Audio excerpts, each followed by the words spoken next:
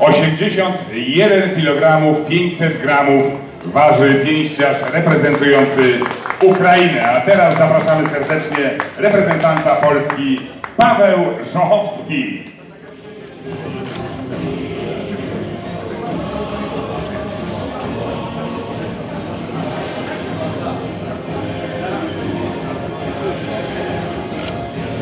A więc 81 500, taka sama waga reprezentanta Polski. Prosimy teraz o face to face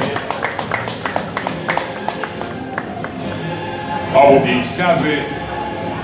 I proszę jeszcze o prezentację przed publicznością.